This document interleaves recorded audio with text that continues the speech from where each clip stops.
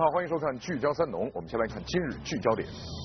因为家庭贫困，寒门学子收到录取通知书，喜悦很快变得沉重。他们到底会迎来怎样的大学生活呢？大货车拐弯的时候会有多少盲区？司机如何驾驶才正确？路遇大货车站在什么样的位置最安全？谋生正当午，一起来关注高温下辛苦作业的农民工。稍后我们来看详细报道。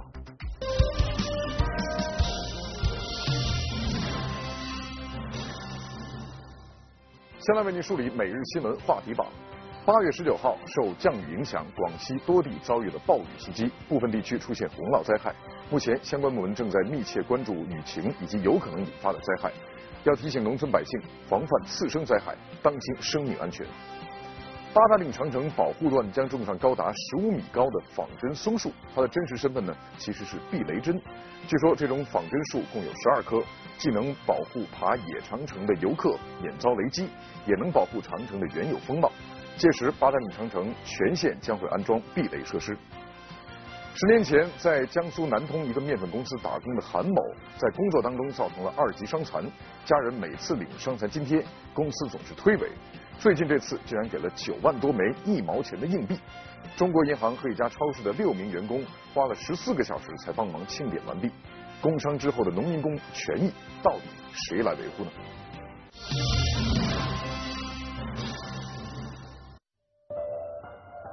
十年寒窗苦读，只为实现昔日的梦想。双手抚摸着那张录取通知书，泪水已打湿那红红的印章。我对着星星许愿，我想上大学。我不知道该怎么去筹这一笔费用。寻找筹集学费的寒门学子征集报名中，沉重的录取通知书，聚焦三农为您呈现。最近我们栏目连续关注了贫困学生上大学，一张大学录取通知书给一个家庭甚至是一个地方带来了希望。湖南省的隆回县是国家级贫困县，农村居民人均收入只有五千多元。今年呢，这里有七百多名考生考上了国家一类本科院校，对于这个贫困山区来说，无疑是一个好消息。但是我们的记者在隆回采访的时候，却发现一些贫困农村家庭正在为孩子筹集学费。湖南省隆回县石莲村，这里距离隆回县城有近八十公里路程，虽然是山区，但是白天最高气温也高达三十八摄氏度。这里的村民习惯在夏季建房子，村里到处都能看到正在修建的房屋。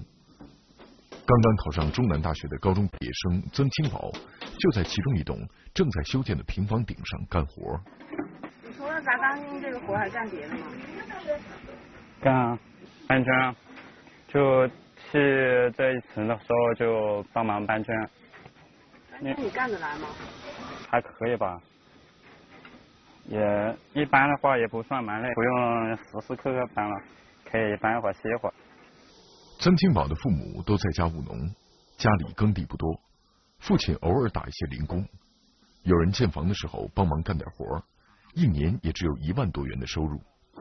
高中期间，每次暑假，曾金宝都会去工地上打零工。读书的时候就很少干了，就一般放假的时候还可以干点。你赚的最多的时候赚了多少钱？嗯，两个月可以拿个两三千块钱还是可以。因为不是专业的技术工人，曾清宝一天只能挣六十元钱。虽然钱不多，但是他仍然干得很卖力。锅里也是抓的就行。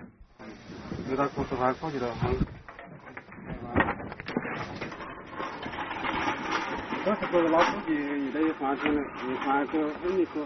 好好好。这都比较暖了。高考成绩出来后，一家人开始为大学的学费做准备。原本以为父子俩在工地上打工挣的钱，再加上亲戚再借一些就够了。可是六月份几场大雨，把家里的房子冲坏了。修缮了自家的房屋之后，曾庆宝的学费就不够了。他现在上大学的，最少要借一万，就是第一年。曾清宝一年的学费是五千三百元，住宿费一千两百元，各种杂费约一千元，还需要至少两千元的生活费，一共要九千五百元。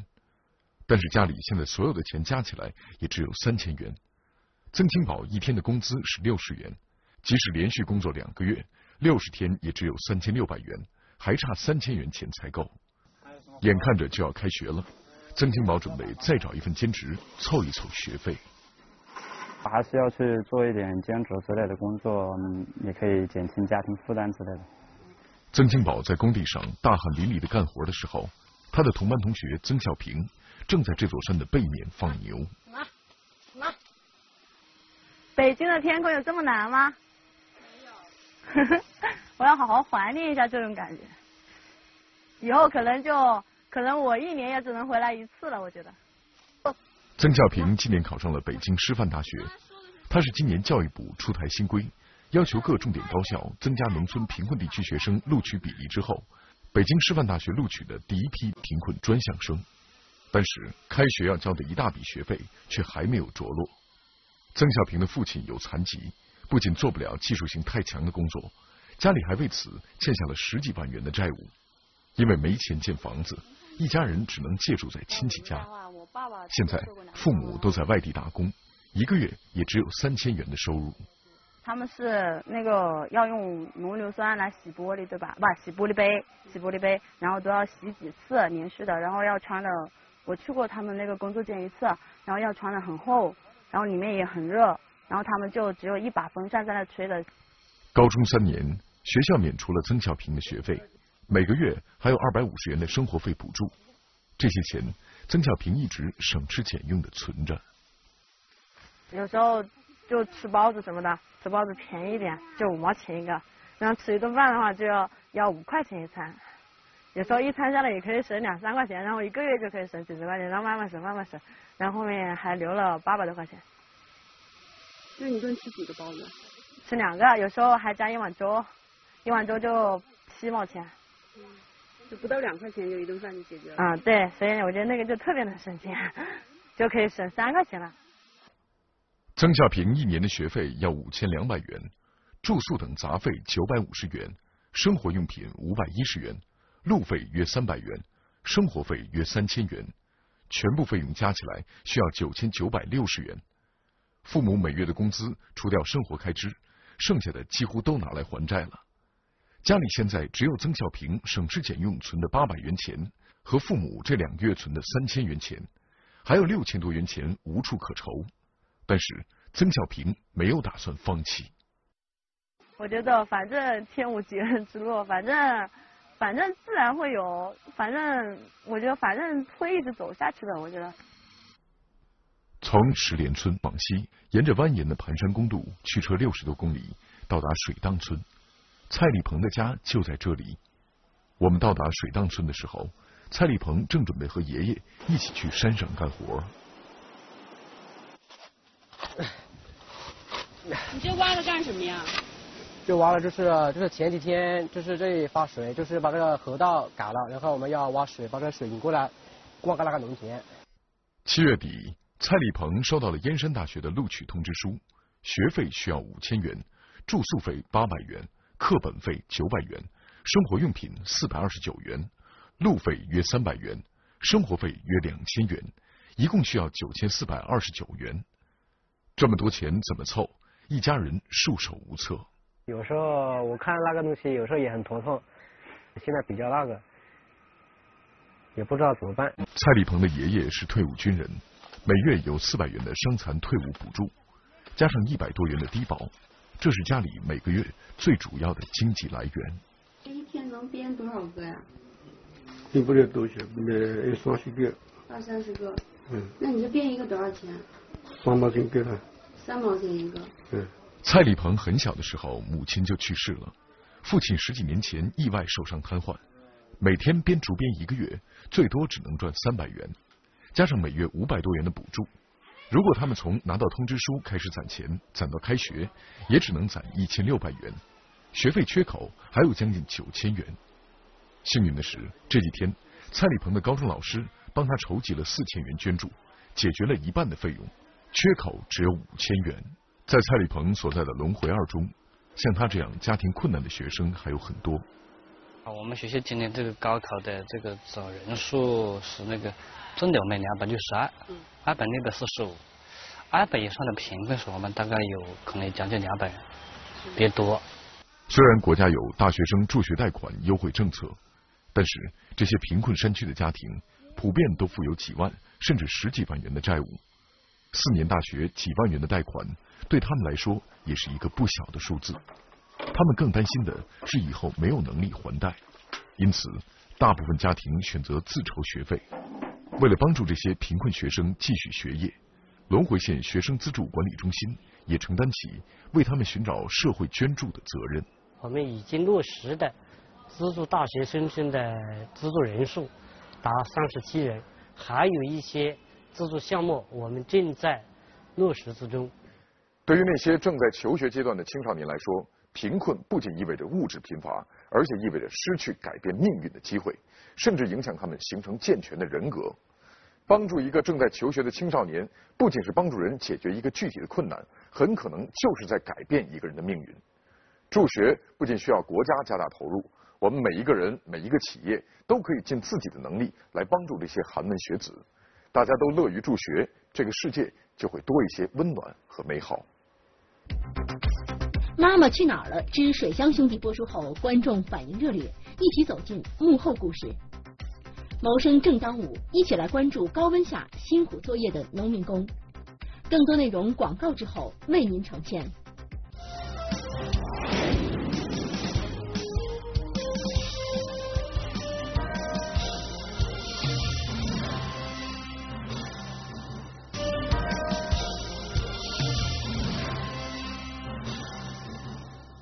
车祸猛于虎。最近呢，在网上有这么一段视频，记录的是一起车祸。一个轿车司机因为视线盲区，没有看到车旁边有人，直接从摔倒后的路人身上压了过去。一辆四座的小车尚且如此，如果换作是大货车呢，岂不是更加危险？小车的盲区小，如果司机能注意观察，事故率就会降低。现在在农村，真正危险的还是大货车，因为大货车的盲区多。那大货车的盲区都在哪些地方呢？这个挡了这个区域，放射状的这个区域，这个往前面这个三角形的区域，这个看不到，这个下面看不到。如果是起步的情况下，前面有一段距离看不到，因为这个车身比较高，右侧更不容易观察到，因为都说这一块的盲区会更大。A 柱还有这个这个盲区，这是都是盲区。右侧的盲区真的会更大吗？记者和交警小李现场做了个目测试验。这个地方你看得到吧？站这儿，站这儿看不到是吧？站这儿来，也看不到。如果如果我走到这儿，你更看不到了吧？通过目测，不仅大货车的右侧 A 柱和观后镜这个地方是盲区，而且车窗下根本看不到人，成为大盲区。右侧属非机动车道，那大货车在拐弯时，行人在什么位置会安全呢？记者与交警小李现场进行驾驶试验。这根木棍代替行人与大货车并行，间隔两米远，看是否安全。车身刚过一半，木棍就被撞倒。第二次试验，交警小李把木棍向右移至三米远，同时在第一根木棍后五米处再放一根，代表第二组行人站的位置。这样会是什么结果呢？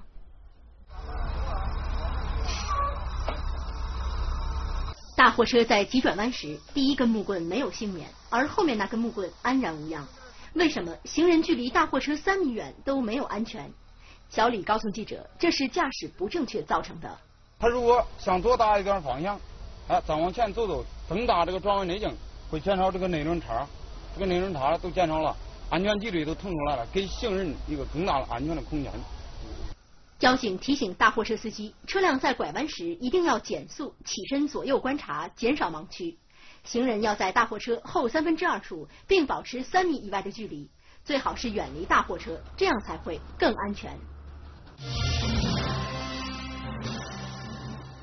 最近我们栏目持续推出的暑期特别节目《妈妈去哪儿了》，上周末播出了《水乡兄弟》，小哥俩的深圳探母之旅引发了广大观众的强烈反响。我们先来看一下内容回放。六岁的王鑫和十五岁的王广是洞庭湖边上的留守少年，他们一个喜怒无常，一个性格内向。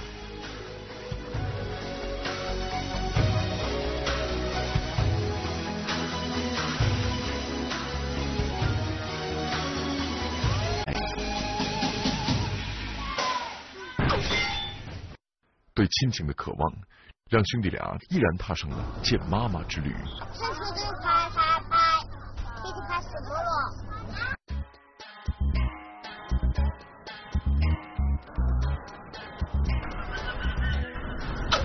其实，只需要一个温暖的拥抱，或者给孩子一个合理的解释，就会得到理解。留守儿童的天空不下雨，在冰冷的钢铁森林里，人们的感情越来越淡薄，甚至是我们的亲情。妈妈去哪儿了？让我们看到了温情，让我们学会珍惜身边最珍贵的幸福。妈妈去哪儿了？记录了孩子和妈妈一起度过的快乐时光，孩子成长中的些许，留下的不仅是快乐，更是珍贵的回忆。真心赞。感谢各位观众对节目的肯定。其实呢，在拍摄过程中，对孩子感触最深的还是我们的编导。接下来，我们来看一下水乡兄弟的幕后故事。每天，王鑫都会和哥哥一起去接妈妈下班。下了班的妈妈为了多些时间陪孩子，常常顾不得休息和吃饭，就直接带孩子出去玩。广场上的热闹景象让王鑫眼花缭乱。哎，王鑫不见了，真的。王鑫呢？王鑫呢，还是那么好动，嗯，爱哭、爱笑、爱闹。嗯，王广呢，由原来的一开始和他的弟弟相依为命，嗯，他一直在充当三种角色嘛，一个是既当哥哥，呃，又当父母，又当出气筒。那么到城里以后呢，我觉得他的这种呃身上背负的这种东西会轻了一点，因为毕竟到妈妈身边去了嘛。在某种意义上来说，其实他也是个孩子。那么，比如在广场丢失这一段，事实上是王广。在跟妈妈他们一起出去玩的那一刻，他其实对弟弟看护的那个呃责任就会轻了一点，才导致那个小王鑫走丢。哎，有没有看到一个小孩子啊，没穿衣服的？哎，请问有没有看到这么高一个小孩子没穿衣服的？啊，有没有看到？王姐，你去哪里了？妈妈以为你掉了，哥哥姐姐去找你了。你去哪里了？我们我们的目的就想让更多的人，包括社会方方面面的力量来关注这个群体。我们是在一个湖南的一个叫东方少年军校里选择的呃这两个孩子。那个学校里总共有三百多个留守孩子，在这个假期他们会做些什么？他们对妈妈的思念，他们呃这个假期以后有没有人管他们？其实这都是我们关心的重点，让他们真的不再孤独。立秋以后，现在的早晚明显凉爽了，但是在白天，在大太阳底下还是热的厉害。秋老虎依然在发威，但是有这样一些农民工，在每天最热的时候，也就是中午前后，恰恰也就是他们最忙碌的时候。下午一点半，北京市魏公村邮局的报纸投递员们就开始工作了，而他们几乎都是来自外地的打工人员。由于报纸的印刷时间是在中午，只要报纸一来，投递员就得立刻派送。所以投递员派送的时间通常都是在一天最热的时候，下午两点半分拣完毕，投递员就出发了。这这一一共是打今天下午是多少斤？今天下午这点有五十斤。五十斤。嗯。刘贵宝来自北京密云县的农村，今年四十六岁，干报纸投递员已经十四年了。第一天去哪？天阔上楼。有太阳，太阳暖和，你骑骑车就凉快了就，特凉快。我们不怕晒，就怕闷。除了报纸，有时候还会有一些挂号信等，也需要刘师傅顺路派送。那怎么办呢？这邮件？不是因为因为我骑着自行车，那邮件那全在那外边散着呢，我们上不去，只有你自己下吧。自行车里有七十多份报纸，所以刘师傅不能随便离开。在滚滚热浪里等待了将近二十分钟，终于有人下来取邮件了。刘师傅顾不上喝口水，就开始挨家挨户送报纸。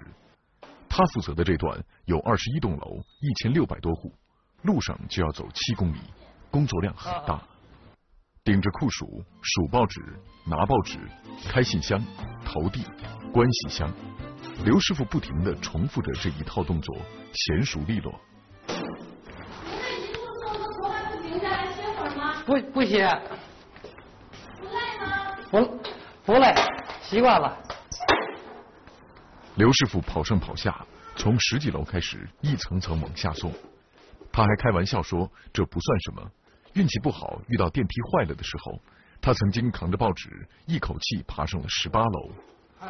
下午四点，邮递袋里的报纸一点点在减少，报纸送的差不多了，只剩下最后一栋。就在要结束的时候，刘师傅却发现不对劲儿了。小心翼翼的守护了一下午的报纸，还是丢了一份。这种事经常发生吗？每个月四五次、五六次。会有。对。